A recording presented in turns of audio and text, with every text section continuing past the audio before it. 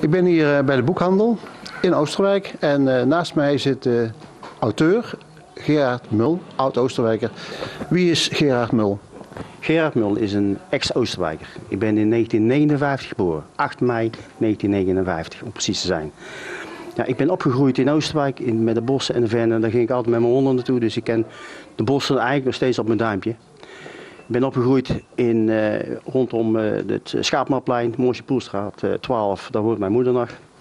Mijn vader was eh, ambtenaar op het gemeentehuis hier.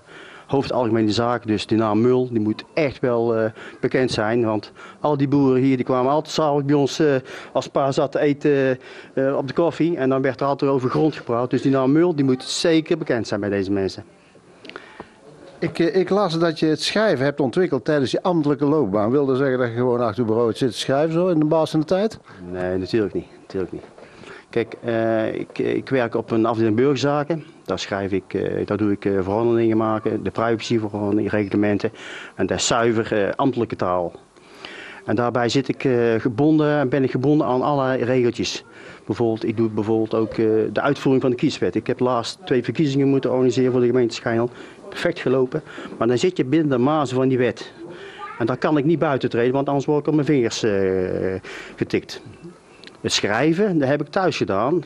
Eh, ik heb bepaalde gedachten, ik heb bepaalde ideeën en dan begon, ik ben gewoon gaan schrijven. Wel met die intentie van, ik kan schrijven ambtelijk, maar door eh, thuis te zitten en, en, en thuis te schrijven, dan ja, dan word ik vrij van gedachten en kan ik buiten regeltjes treden. Ik heb totaal mijn eigen niet bemoeid met regeltjes die, die nodig zijn om een boek te kunnen schrijven. Ik ben gewoon begonnen. Ik ben eigenlijk autodidact. Ik heb vroeger heel veel gelezen hier in de biep. Ik zat elke week in de biep, kwam met dikke pullen thuis. En eh, eh, heb ik allemaal doorgelezen. Ja. En dan op een gegeven moment ben je wat ouder en dan denk je van, wat zou ik nog eens een keer in mijn leven willen doen? Is het schrijven een, eh, een verademing?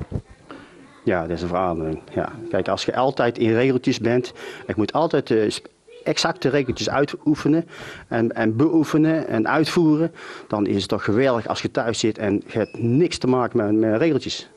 Totaal niet. Kijk, mensen zeiden wel eens van, nou, heb je een schrijfcursus gevolgd? Nou, ik heb geen schrijfcursus gevolgd. Ik vind eigenlijk van, nou, ik ben al belast met allerlei regeltjes die mij opgelegd worden. En dan is het toch hartstikke fijn om zonder regeltjes een boek te kunnen schrijven. Eh, welke aspecten heb je interesse als je een boek schrijft? Nou, een, boek, moet in mijn ogen spannend zijn. Het moet te maken hebben met erotiek. Ik vind, en het moet niet eh, een seksboek worden, maar het moet in de verhaallijn meegenomen worden. Dus in mijn boek op dit moment ook van toepassing. Ik heb gebruik eh, bovennatuurlijke krachten die ik zelf verzin, die ik zelf benoem. Ik heb bijvoorbeeld eh, een aantal kerkgenootschappen verzonnen. Ik misbruik de paus niet, maar de kerk wordt wel genoemd. Het misbruik van de kerk wat ze hebben gedaan, heb ik, noem ik ook. Ik noem eh, de commissie Deetman.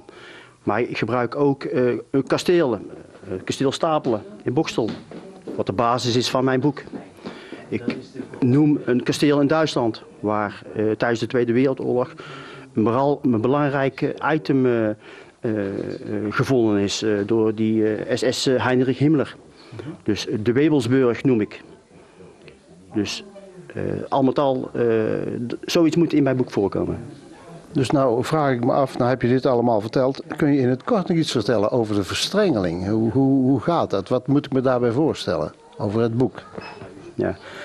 Ehm, de verstrenging houdt eigenlijk in, ja, het, verhaal begint als, eh, op, het, op het kasteel Stapelen. Daar, ik heb een oom, die is inmiddels overleden, die was pater Assumptionist. Die is in 1952 met de boot naar Nieuw-Zeeland gegaan. Dat is één verhaal. Ik weet niet wat hij allemaal op de boot heeft gedaan en wat hij exact in Nieuw-Zeeland heeft gedaan, want daar ging hij naartoe. Daar moest hij zijn missie vervullen. Dus daar heb ik wel een beetje moeten verzinnen. Heb ik ook naar mijn moeder en mijn, mijn familie gevraagd van nou, hoe is dat in de tijd toen gegaan daar in Rotterdam? Stonden jullie daar zo te zwaaien? Ja, wij stonden zo te zwaaien. En hoe voelde dat? Ja, hij ging weg en wij mochten achterblijven. De andere kant van het verhaal is, in 1999 ben ik zelf naar Nieuw-Zeeland gegaan om te kijken en, eh, eh, hoe Nieuw-Zeeland eruit ziet en wat hij dus ehm, eh, tijdens zijn loopbaan heeft, heeft gedaan daar. Maar toen ik daar naartoe wilde gaan, net daarvoor, toen stierf hij. Toen hebben heel veel mensen en familieleden tegen mij gezegd van nou, dan ga je zeker niet. Ik denk van nou, ik ga nou wel, want ik, ik wil die weg. Ik wil wel zien hoe dat Nieuw-Zeeland eruit ziet. Nou, die twee verhaallijnen die gaan in elkaar heen. En is de verstrengeling. Dus twee missies. Hij had een missie eh, om uh, zieltjes te winnen voor de Rooms-Katholieke Kerk. En mijn missie was, ik was pas gescheiden. Ik ben op zoek gegaan naar een nieuwe liefde. En dat is de verstrengeling. Zo, nou, dat wordt een uh, schitterend verhaal dan, als het goed is. Hè? En uh, als ik uh, aan zo'n boek uh, wil komen, hoe gaat dat? Kan ik dat hier in Oosterwijk krijgen? Je kunt eigenlijk in elke winkel, in elke boekwinkel kun je het bestellen. Ehm, dus het, en je kunt ook naar bol.com en IC, overal is het te bestellen. Je kunt het ook bestellen in, op mijn website www.gerardmul.com. Daar kunnen mensen terecht.